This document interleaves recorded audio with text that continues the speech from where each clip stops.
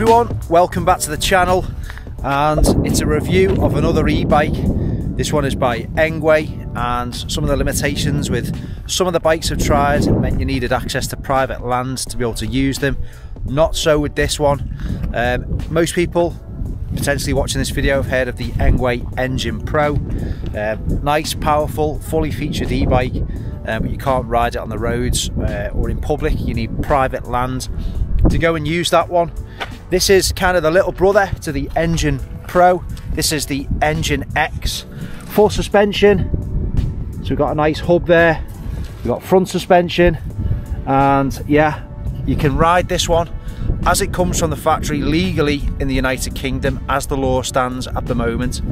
It does have a throttle. It's not illegal to have a throttle. It is, however, illegal to use a throttle and it comes disabled from the factory and limited to pedal assist only up to 15.5 miles an hour. So that's the law.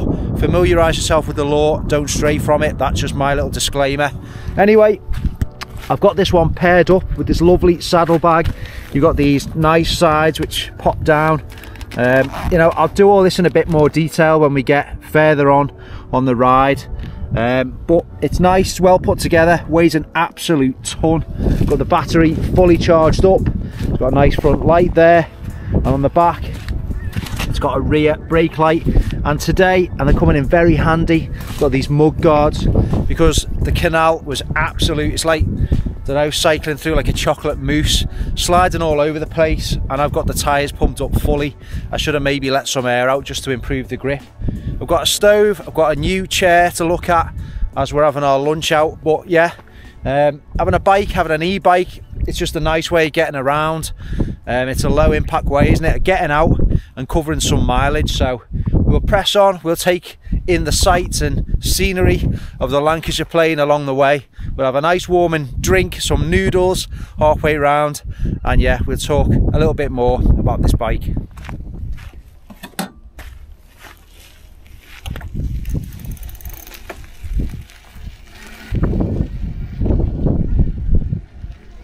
Now, let's see if we can manage pedaling and talking to the camera at the same time. It's nice and comfortable, the big fat tyres, um, out the bumps, and like I say, it's full suspension, so it's, uh, it's a bit more of a comfortable ride than the hardtail bikes.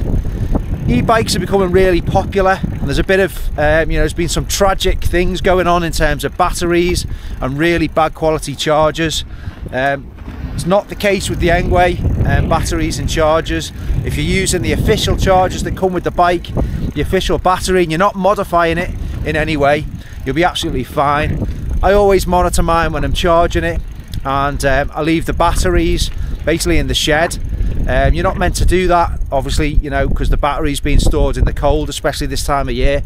So it probably isn't the best for your battery life, but in terms of safety, I just feel a bit better knowing I've got the batteries in the shed so anything happen. So yeah, we are going to head off uh, to a nice patch of woodland called Bat Loom. And um, yeah, I'll show you this chair and it's about time we had something to eat.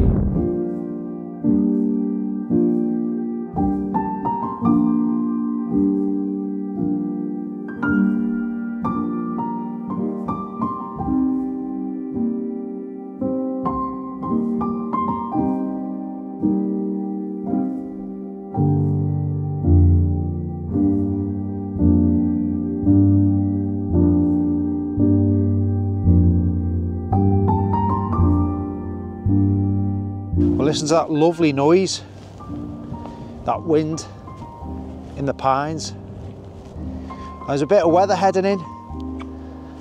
We're losing the sun and there's a bit of rain coming. E-bikes and rain don't generally mix very well. So if needs be, we'll find some shelter, but it'll be fine. The battery compartment is pretty well protected, as are all the the terminals and stuff like that so we should be all right. I'm not sure if I'm going to get the chair out here um, or somewhere a little bit more secluded but how nice is it just to listen to that sound? I'll see if we can capture it on the mic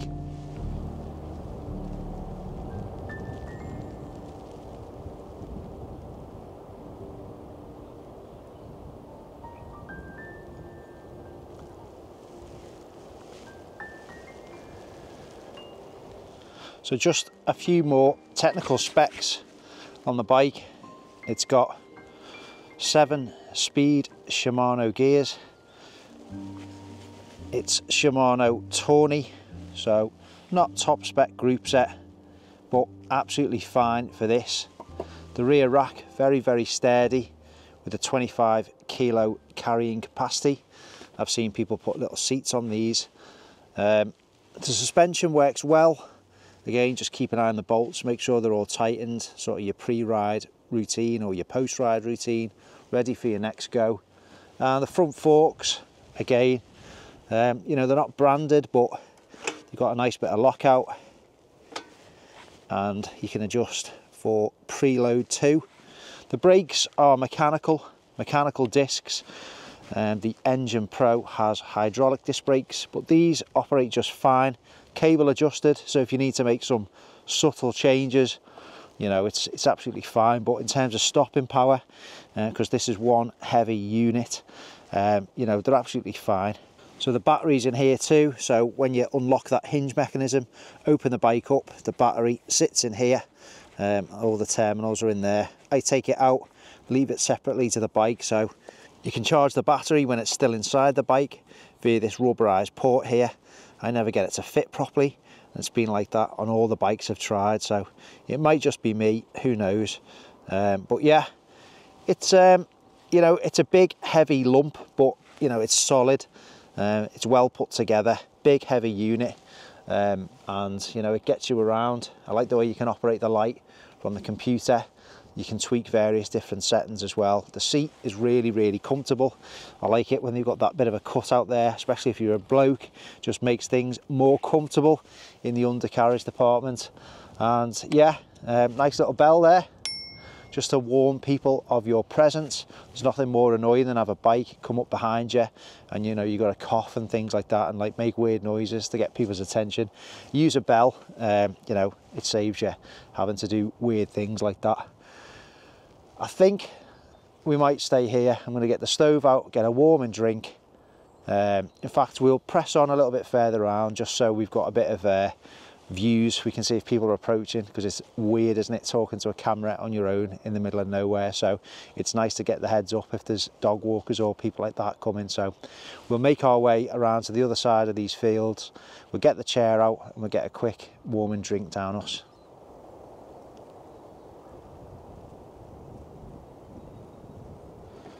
now the ground is so wet it's completely waterlogged. And like I say these tyres if you got them pumped up to the max and there's 20 psi um, they don't afford much grip on this slippy boggy ground. So if it was coming out again in these conditions and here comes the rain I would uh, I'd just let some air out the tyres um, just to save the wheels skidding in all this sloppy mud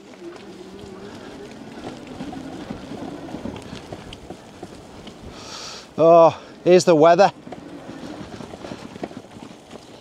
Right, because it's so muddy, I need two hands, so I'll put the camera down and I'll speak to you when we get to our lunch spot. Well, the weather has really come in now. I wish I didn't have my fingerless gloves on.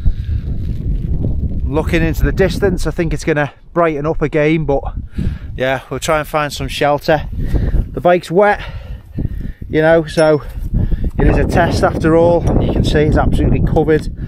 Some quite heavy showers have been hitting in, so we'll see how it fares. Uh, should be fine, but yeah, we'll try and get a bit of shelter and I want to get something nice and warm down me.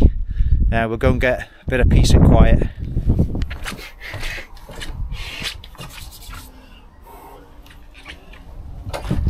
Oh, cold fingers. Right, I don't know why I don't know why I didn't put my rain cover on. I'll show you this chair and um, you know get the stove out and get a warm jacket on. It's all good fun.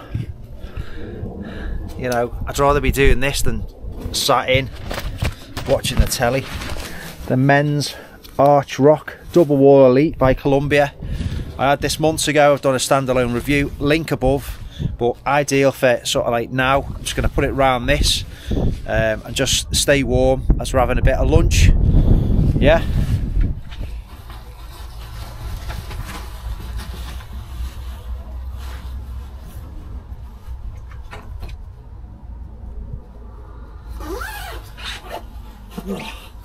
That's better.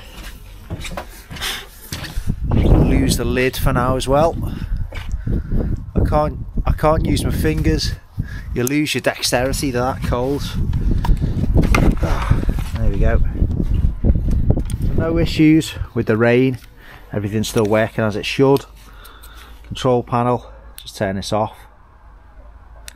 There you go. Definitely needs a bit of muck off when I get in, a bit of a wipe down. I won't just leave it in the shed like this. You know, things get mouldy and rusty, so you've still got to look after your gear. Chair, you ready for it? Trekology, pretty light, not the lightest, but yeah, watch this it all just folds folds into its own pouch telescopic legs.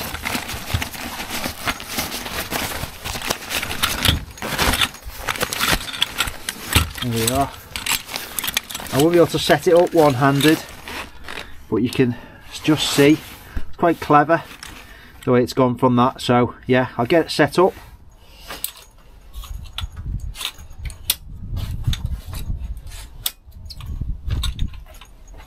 Nice and easy. You can just hear it clicking into place and again. And that's it. Legs out. Got a couple more stops. On the back edge.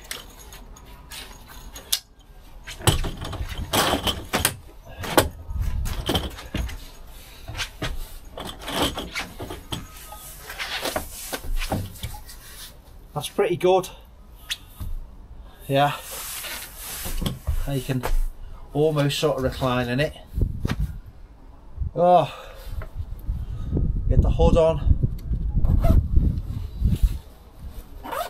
on the stove.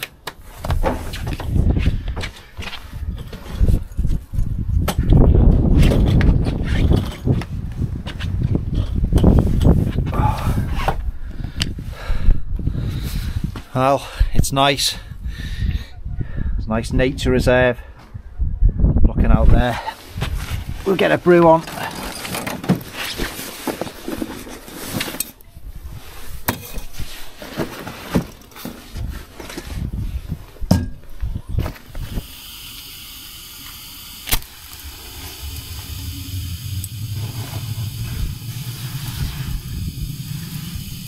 Oh, it's lovely, very welcoming.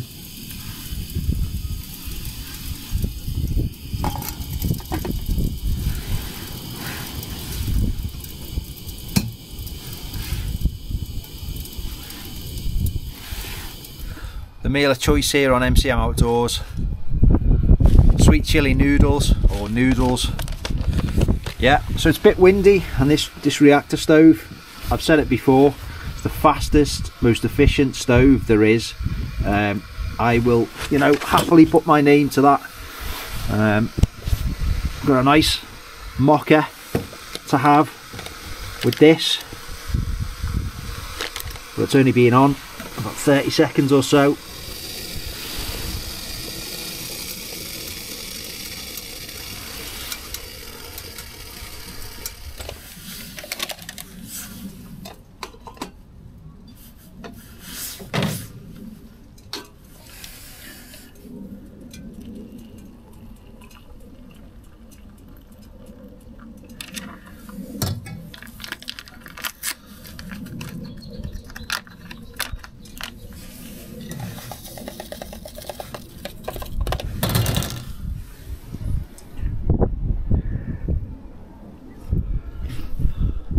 Cheers everyone.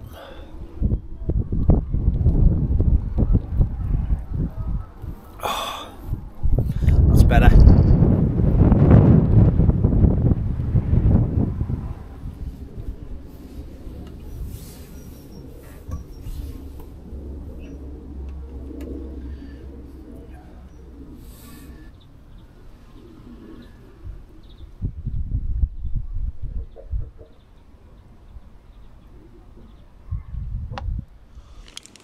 Nearly forgot the star of the show. The fake little Snickers. Peanut and Choco. Right, I'll show you this chair going away. Now, hopefully it'll do it, you know, and won't snag or anything. I've only done it once before, but again, just little press tabs.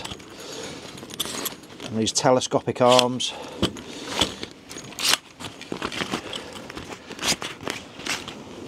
I'm not sure if this is out yet, I don't think it is, um, but it won't be long. And that's it. All folds back down.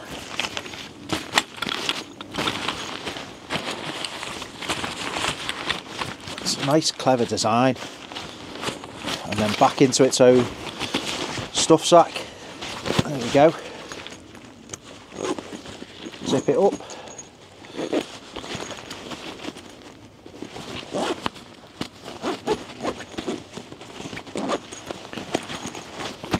And that's done. That is nice actually. It's uh, a nice bit of kit. Great stuff Trekology I'll be using it on future wild camps. Get the bag packed up. And then we'll get the show on the road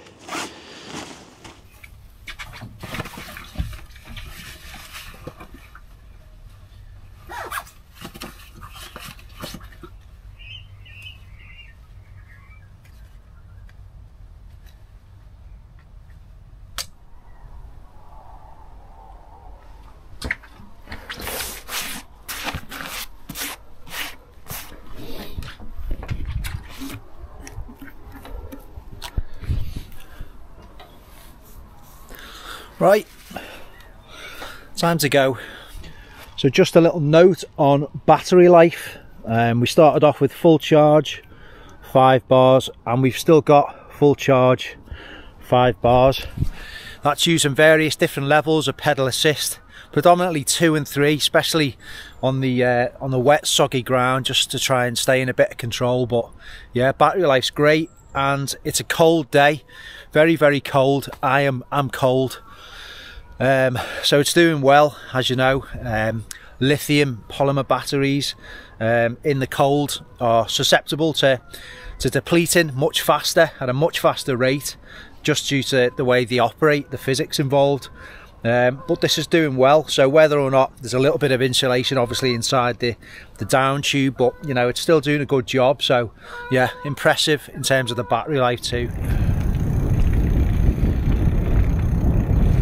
Well, I'm almost home now, so I'll get back to the relative shelter of the garden and I'll give you my final thoughts on the Engwe Engine X. I'm just going to give it a quick blast with the hose, but first I'll just take the battery out. You got this catch. I'm trying to do it one-handed, so it's difficult. You got your key, you got this lock locking pin you turn the key that retracts like so. And again one-handed battery will just come out like so. And it's a 624 watt hour battery. And that's it. Give it a quick wash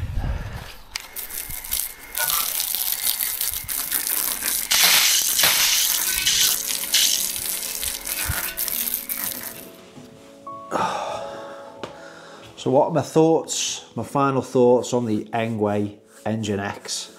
Um, for me, um, I prefer it out of all the Engwe bikes that I've tried, namely because um, it's street legal as it comes here in the UK. Um, and to me, uh, that, that makes it obviously a, a no-brainer. Um, I like the suspension, uh, the saddle's nice and comfy, five levels of pedal assist, really decent battery, um, and you do get some decent range out of it. I'll put all the official specs from Engwe below. Bear in mind though that that's obviously in ideal stroke lab conditions. It's good quality um, and reasonably affordable. There's some great offers to be had um, if you shop around and look online. And Engwe have various offers as well. To me, um, the old e-bikes offer um, a nice way of exploring the outdoors. I've got some ideas in mind for some warmer weather, uh, for some bike packing trips, um, and I'll hopefully be carrying along some spare batteries to really get to, well, I've got something in mind for the summer when it's nice and warm and it'll be nice and the e-bike is going to let me go and do that. Of course, you know, you don't need e-bikes, um, I'm not saying that, um, but they are becoming more and more popular.